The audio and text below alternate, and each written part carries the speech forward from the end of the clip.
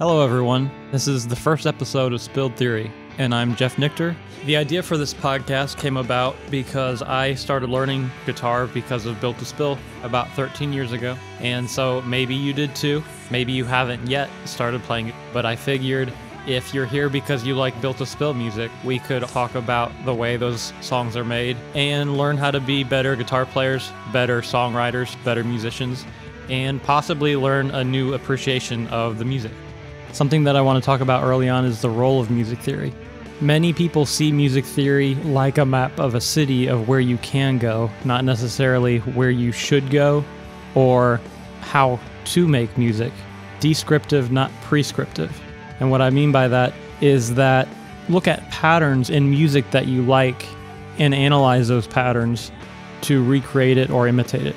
What makes music interesting is a mechanic of tension and release, and that comes from setting up expectations, sometimes meeting them, and sometimes surprising the listener. Today we're going to be looking at the first song on the album and Keep It Like a Secret, The Plan. So the first thing we'll look at when we when we look at a song is the key of the song. The Plan happens to be in the key of D. D is the home, the tonic of the song. And so every time we return to the note and chord D major, it sounds very stable. It sounds like home. It sounds like the beginning, the end, and where you come back to. It's where we'll go when we want to resolve tension. And so to start off the song, Doug or Jim, when they're playing it live, starts with a slide from the second fret on the high E string, which is an F sharp, and he slides up to the fifth fret on the high E string, which is an A. I will be sharing the tabs for all of this uh, to follow along.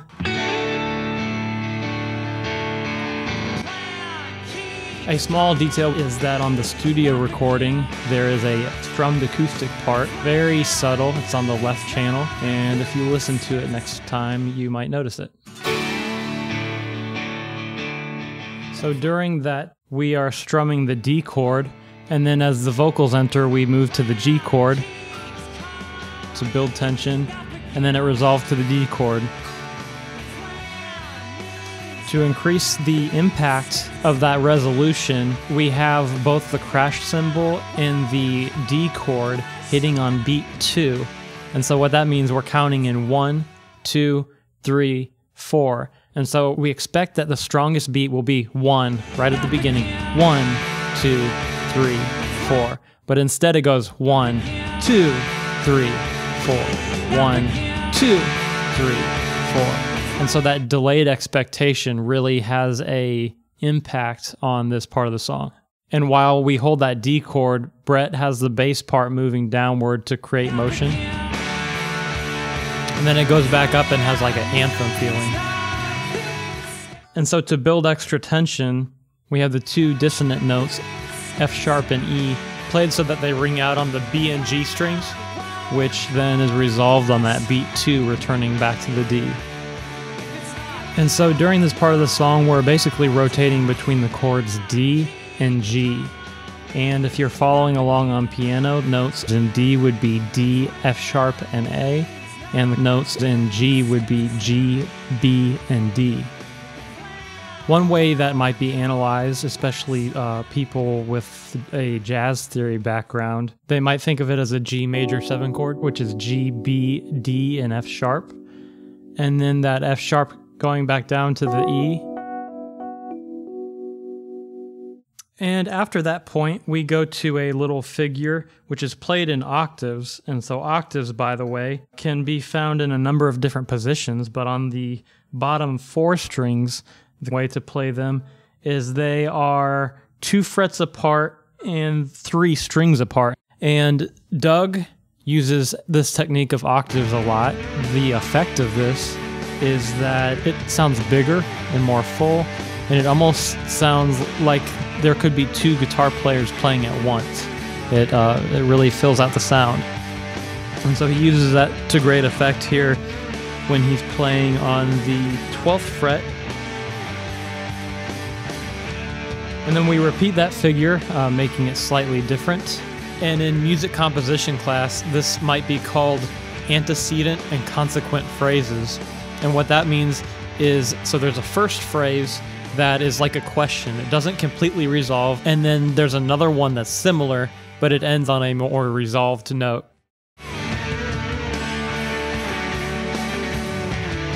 And so that's phrase one.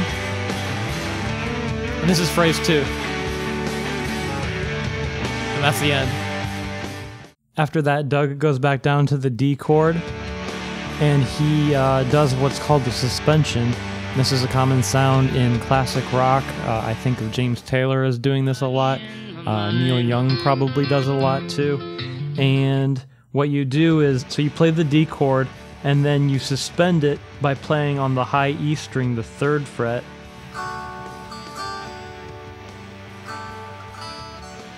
You can lift up on your middle finger and allow the E string to ring out.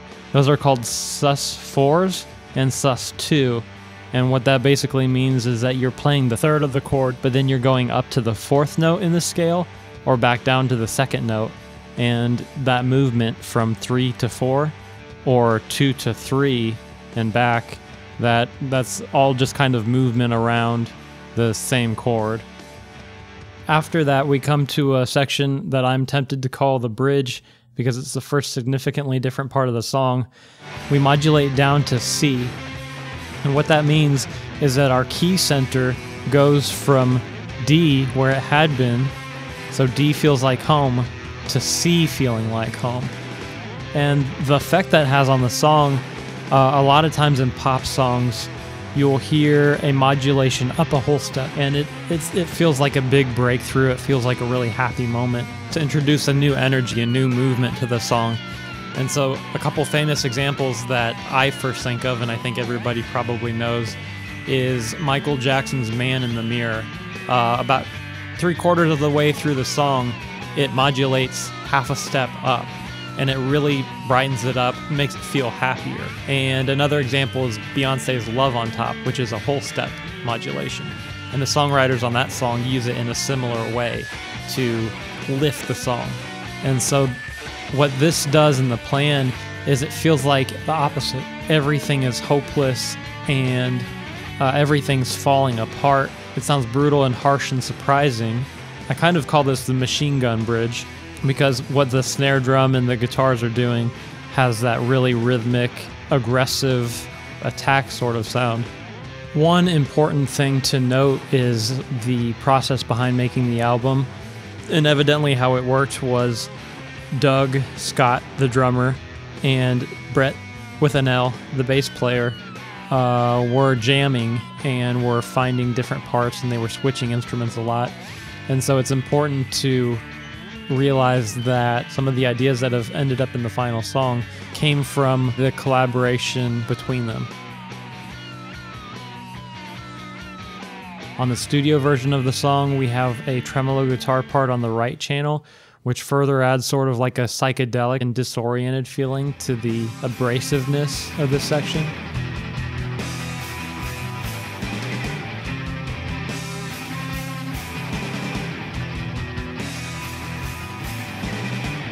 At the end of the section, we come to a line or a guitar solo that almost has like a scary or Halloween sort of sound.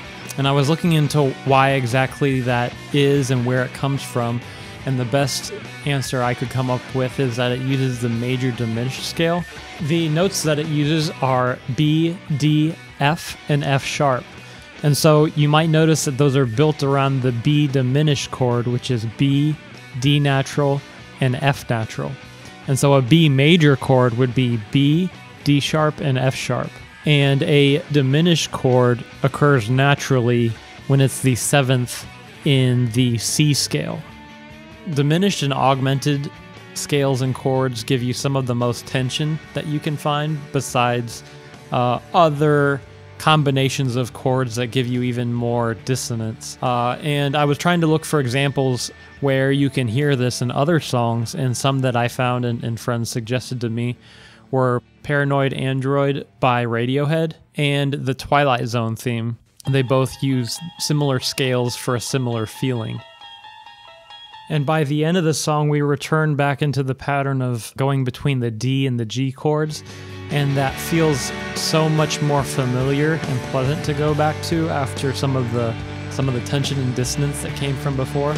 In the live version of the song, which shows up on their live album and on the reverb performance. Doug really stretches out this part of the song with an extended solo. And the notes that he's using are, are typical of the D major scale, but he's really expressive with the rhythm and he uses contrast to make things interesting. He's expressive with the tempo. Sometimes he slows down and pushes and pulls against the tempo.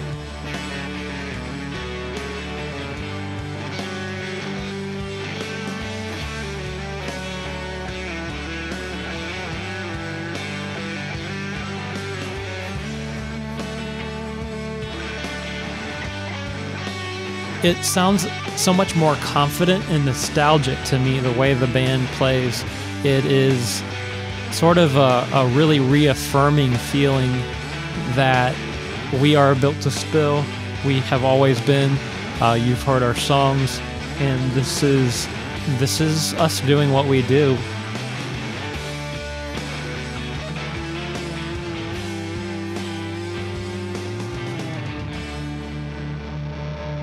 If you're a gear person like I am, you might also be interested in some of the gear that makes this song work the way that it does. Doug plays mainly a Stratocaster. It's a Strat Plus from the late 80s, which has lace sensor pickups. They're noiseless. They sound a lot like 50s style pickups, which means they're kind of bell like a little bit compressed, uh, very clean. It looks like Brett is using a jazz style bass. He also uses the tremolo a fair bit. He'll pull upwards on it to raise the pitch. Do that sometimes when strumming or playing octaves. And it gives it a certain wobbly feeling.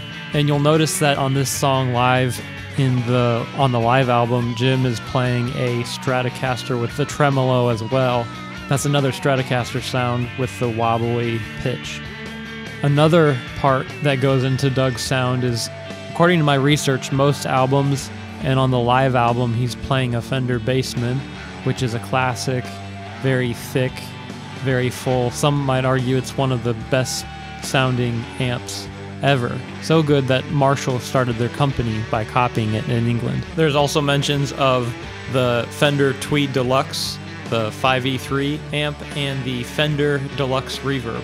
There's a good possibility he might have played a Fender Twin on There's Nothing Wrong with Love, but all this gear talk might be a good topic for another episode. And then he plays the Dan Electro Daddio Overdrive, which is a copy of the Marshall Guv'nor, into that for his uh, overdrive pedal live during this time. And uh, as a guitar player who's looked up to Doug all these years for his playing, the way that I would describe his strengths, what makes him different as a player, is he has really great phrasing. And so the notes that go together really smoothly and well, and he'll, he'll play a lot of kind of scalar lines, so notes together, notes near each other. They're not jumping around a ton. And he he does a lot of like compositional phrasing that I think is really impressive, and, and you don't see that too much outside of players like Neil Young or Jay Mascis.